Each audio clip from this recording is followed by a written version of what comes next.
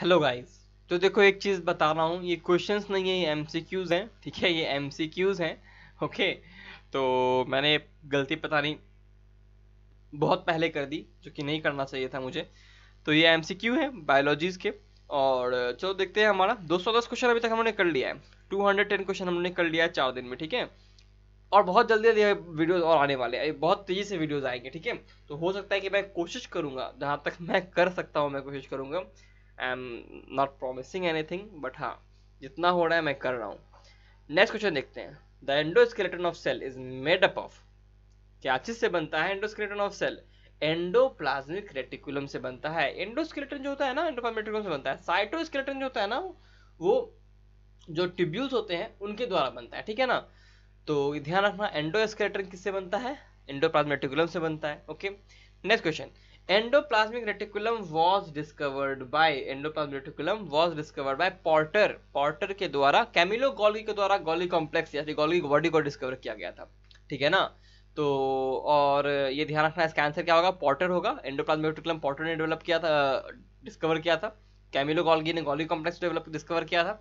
फिर हम लोग पैराडे पे आएँगे। पैराडे जो होता है, उन राइबोसोम को डिस्कवर किया था, फिर हम लोग आएँगे कि आल्टमैन और शिम्पर ने बताया था कि जो माइट्रोकॉन्ड्रिया और प्लास्टिड होते हैं क्लोरोप्लास्ट होते हैं, उनका प्रोकैरियोटिक ओरिजिन होगा। फिर कॉलिकर ने माइट्रोकॉन्ड्रिया पहली बार देखा था। बेंडा ने माइट्रोकॉन्ड्रियन टर्म दिया था। ये सारे के सारे क्वेश्चन हम लोग पिछले वीडियो में देख चुके हैं। ठीक है ना?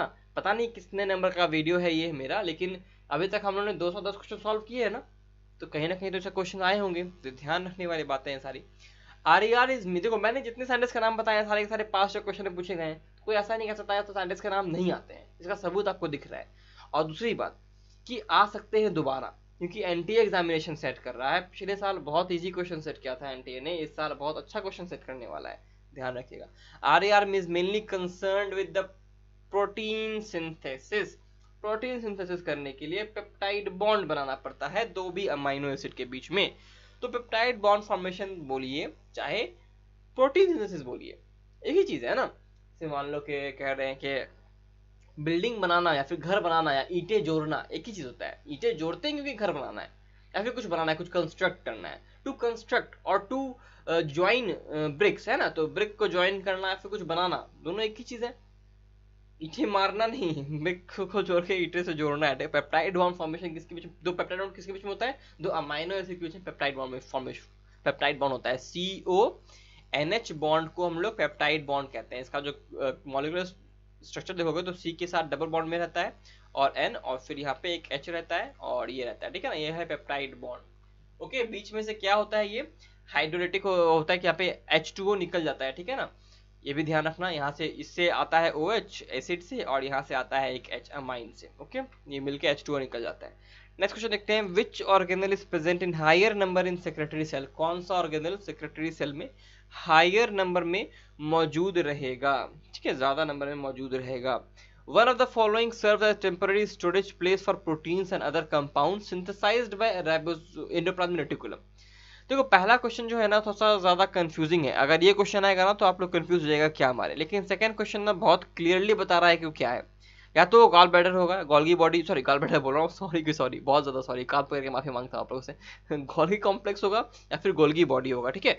तो गोल्गी बॉडी अगर है वो तो ही वो इंटरप्लाज्मेटिक्रम से जो सिक्रेशन होता है, उसको स्टोर करता है कुछ देर के लिए और हाँ उसको मॉडिफाई भी करता है, ठीक है? ये भी पता रहना चाहिए। दूसरी बात गोल्गी बॉडी और गोल्गी कॉम्प्लेक्स को हम डिक्टियोजोम कहते हैं। मैंने पहले भी तीन से चार वीडियोस में ये बातें बताई है है ना? माइट्रोकॉन्ड्रियास का वीडियो से मैं बता रहा हूँ इस चीज़ को। आंसर क्या होगा? डिक्टियोजोम होगा। लाइसोसोम में तो ये तो गोल्गी कॉम्प्लेक्स से बनता ही है। ये तो डिक्टियोजोम से बनेगा ही तो नहीं हो सकता। एंडोप्लाज्मिक रेटिकुलम से सिंथेसाइज हो रहा है ना तो ये तो अपने आप में एंडोप्लाज्मिक रेटिकुलम कैसे हो सकता है? भैया आंसर इसका। वैक्यूल में ऐसा कुछ भी स्टोर नहीं होता। वैक्यूल में हमेशा आपको वेस्ट मटेरियल ही ज़्यादातर और वाटर ही ज़्यादातर स्टोर्ड मिलेगा आप लोग को, ठीक है ना? तो ये क्वेश्चन जो पहला वाला है ना which present in higher number of secretory cells ये थोड़ा कंफ्यूजिंग हो सकता है, लेकिन नेक्स्ट वाला जो क्वेश्चन एएफएमसी में जो पूछा गया है, जिस पैटर्न में, ये बहुत ईजी था। तो पहले वाले क्वेश्चन को समझ लीजिए higher number of secretory cells में, या तो ईआर रहेगा, या तो डिक्टियोजोम रहेगा। तो फिर हम लोग डिक्टियोजोम क्यों मारेंगे डिक्टियोजोम इसीलिए हम लोग को मारना है यहाँ पे कि ईआर जो होता है ना सेक्रेटरी सेल्स में क्या होता है ना कि बहुत हर रंग का सेक्रेशन हो सकता है। लेकिन ई ER जो होता है, हम लोग को स्पेसिफाई नहीं कर रहा कि सेक्रेशन कर रहा है चैनलिंग कर रहा है यार बहुत सारा काम करता है। अगर स्पेसिफिकली कोई बात करें सेक्रेटरी सेल में क्या ज़्यादा रहेगा तो या तो गाल्गी बॉडी ज़्यादा रहेगा या फिर डिक्टियोजोम ज़्यादा रहेगा? ध्यान रखिएगा। Endoplasmic reticulum is in continuation with किसके कंटिन्यूएशन में इंडोप्लाज्मेटिकुलम होता है? मैंने पहले ही बताया है। न्यूक्लियर वॉल है यहाँ पे आंसर लिखा हुआ ना। वॉल ऐसा तो कुछ होता नहीं है ना?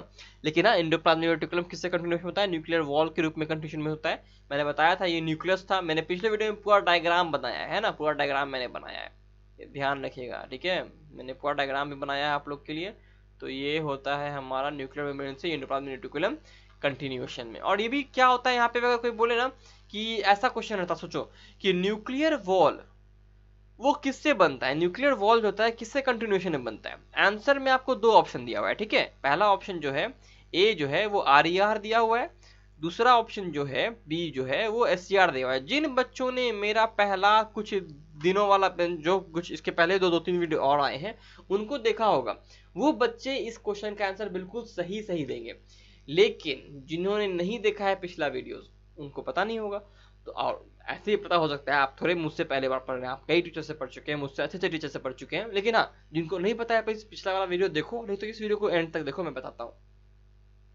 अगर इंडोप्लाज्मेटिकुलम रहे तो न्यूक्लियर वॉल लेकिन इंडोप्लाज्मेटिकुलम में भी कौन सा? आरडीआर की एससीआर इसके बारे में मैं लास्ट में बताता हूँ। Golgi body originated from obvious बात है इंडोप्लाज्मेटिकुलम मैंने पहले ही बताया है। न्यूक्लियस मेम्ब्रेन फिर इंडोप्लाज्मेटिकुलम फिर बनता है गोल्गी बॉडी गोल्गी बॉडी से लायोजोम और भी कई तरह के आप ऑर्गेनल्स आपको देखते हैं, बनते हुए, ठीक है? तो आंसर ट्वेंटी टू का क्या हो जाएगा हमारे लिए? एंडोप्लाज्मिक रेटिकुलम ठीक है? नेक्स्ट क्वेश्चन देखते हैं which is not the function of Golgi body देखो गोल्गी बॉडी का जो फ़ंक्शन जो है ना, वो डी है सेल फॉर्मेशन है। कैसे है बताता हूँ मैं। ठीक है ना? फिर आते हैं हम लोग फैट सिंथेसिस यानी स्टेरॉइड या लिपिड सिंथेसिस ये काम गोल्गी बॉडी का नहीं है, ये जो सिंथेसिस वाला है ना लिपिड वाला ये एस स्मूथ एंडोप्लाज्मेटिकुलम का काम है। सेक्रेशन बिल्कुल करता है फॉर्मेशन ऑफ़ प्लाज्मा मेम्ब्रेन बिल्कुल करता है गोली गोल्गी बॉडी हेल्प करता है गोली कॉम्प्लेक्स करने में भी। और जो 23 का आंसर होगा, वो सी होगा फैट सिंथेसिस नहीं करता। गोल्गी बॉडी ही बनाता क्या है? फ्रैग्मोप्लास्ट बनाता है, जो कि मिडिल लैमेला का प्रिकर्सर होता है। ध्यान रखिएगा सेल वॉल फॉर्मेशन में भी गोल्गी बॉडी हेल्प करता है। विच आर द प्लांट्स में प्लांट्स में, ठीक है ना? आप बोलेगा गोल्गी बॉडी प्लांट्स में होता नहीं है तो समझो भाई, गोल्गी बॉडी के ऐसा स्ट्रक्चर को देखेगा डिक्टियोजोम कहते हैं प्लांट्स में तो नेम इंटरचेंजेबल है सिनोनिम में पर्यायवाची शब्द है, इस्तेमाल कर सकते हैं आप लोग। Which of the following is site of lipid synthesis देखो नीट एग्ज़ाम जो होता है ना, मैंने सॉरी एग्ज़ाम क्वेश्चन पढ़ता पढ़ता मैं आ गया क्वेश्चन को सॉल्व करके बताओ मुझे, मैं थोड़ा सा बात भी कर लेता हूँ। नीट एग्ज़ाम जो होता है ना, थोड़ा सा लूज है लूज एग्ज़ाम है। हर साल एक या दो क्वेश्चन गलत रहेगा इसमें। हर साल कुछ ना कुछ ऑप्शन में आपको कॉम्प्लेक्सिटी या फिर आ, आ, क्या बोलते हैं कॉन्ट्रोवर्सी हो ही जाएगी। ये डेफिनेट है ये होना तय है। और ये मुझे ऐसा लगता है मैं पर्सनल इतने बड़े बड़े एग्जामिनर हैं इतने बड़े बड़े अध्यक्ष लोग होते हैं जो इन क्वेश्चन को बनाते हैं टीचर्स होते हैं। मतलब दे आर इनक्रेडिबल बट फिर भी इतना ज़्यादा रॉन्ग क्यों होता है? इतनी छोटी छोटी चीज़ों में रॉन्ग कैसे हो सकता है? कोई भी आपने 180 क्वेश्चन तो सेट करना है भाई। तो 180 के 180 क्वेश्चन सही वाले क्यों नहीं सेट कर लेते? कॉन्ट्रोवर्शियल क्वेश्चन उठाने का क्या ज़रूरत है? ज़रूरी है बिकॉज़ नीट एग्ज़ाम जो है ना, वो सिलेक्शन एग्ज़ाम नहीं है, वो एलिमिनेशन एग्ज़ाम है।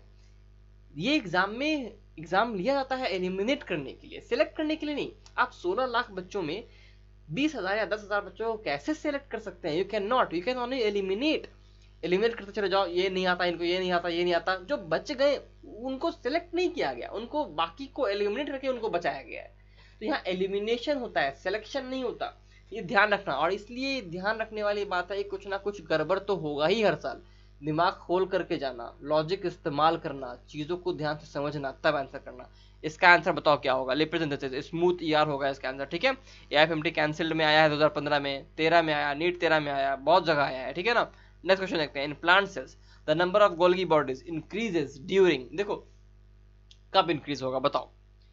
जब हमें एनर्जी का ज़रूरत पड़ेगा, है ना? जब हम लोग जो कि स्टोर्ड वर्ड है फ़ूड वर्ड उसको यूज़ करना है लिपिड्स को सिंथेसाइज करने तो उसको मॉडिफाई करना है प्रोटीन को थोड़ा मॉडिफाई करना है तो ये सारे के सारे काम कब करते हैं हम लोग?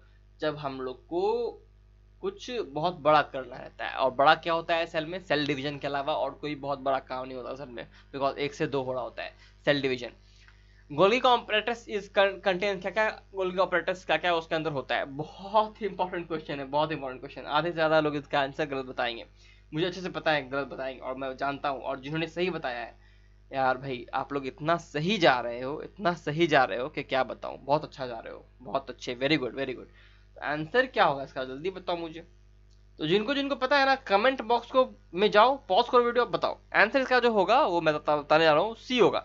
Phospholipid proteins enzyme and vitamin C ये इंपॉर्टेंट है। अगर ये किसी को नहीं पता रहता ना, कभी भी वो लोग इसको आंसर नहीं मारते। वो आंसर मारते प्रोटीन लिपिड प्रोटीन बिकॉज़ ऐसा लगता है कि ये जो है, ये प्लाज्मा मेम्ब्रेन टाइप स्ट्रक्चर होगा। नहीं, यहाँ बहुत कुछ होता है और ठीक है? तो आंसर इज़ सी इस तरह से हमारा क्वेश्चन खत्म होता है। और जो मैंने पिछले वीडियो के बीच में आंसर पूछा था, उसका आर ई आर होगा।